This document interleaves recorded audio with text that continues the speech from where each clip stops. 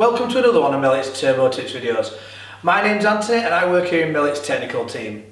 What we're going to look at today, we're going to look at insufficient lubrication as a failure mode. We're going to look at the causes, signs and preventions and how you can stop that happening to your turbocharger.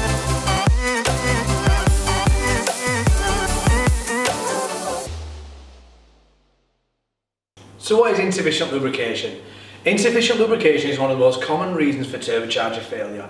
Oil is a vital component of the turbocharger.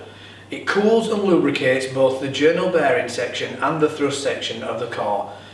If there is no oil or insufficient amount of oil in these two areas, the CHRA is likely to fail.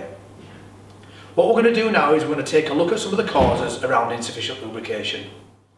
Failure to prime the turbocharger before installation, any damaged, bent or partially blocked oil feed pipes and never use silicone on the inlet or outlet that will restrict the oil flow to the turbocharger. For a more in-depth list of causes, go onto our website and look for our help guides on insufficient lubrication. Now we've discussed the causes, let's take a look at the signs. Firstly, we're going to look at the shaft and wheel. This is where most of the damage from insufficient lubrication will be visible. Here you can see the material transfer on the shaft and wheel landing areas and the discoloration caused by insufficient lubrication. Now we've looked at the shaft, let's take a look at the journal bearing. This is also a key indicator when looking for insufficient lubrication as a failure mode. Let's take a closer look.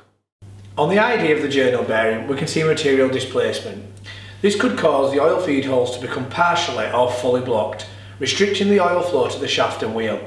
So that was the journal bearing. We're going to take a look at the thrust system now and the thrust system will leave evidence of insufficient lubrication. There are a few components inside the thrust system and we're going to take a look at them individually. So we've got the thrust bearing, the thrust flinger, the thrust collar and the thrust washer. Let's take a look at them in more detail.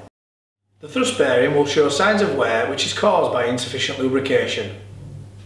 Material transfer from the thrust bearing will be visible on the thrust collar flinger and washer. These clues are key indicators that the turbocharger has failed from insufficient lubrication. So we've discussed the causes and looked at the signs and now we're going to go through how to prevent a turbocharger failing from insufficient lubrication. Always check the correct oil flow to the turbocharger and that you've primed it before installation.